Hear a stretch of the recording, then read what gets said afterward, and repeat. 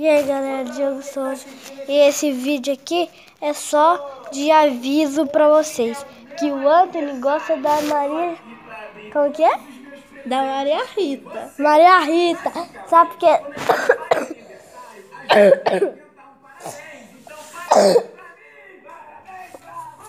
Tá passando um casneto agora.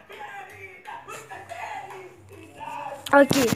Então, ele gosta da... O quê? Maria Rita. Maria Rita.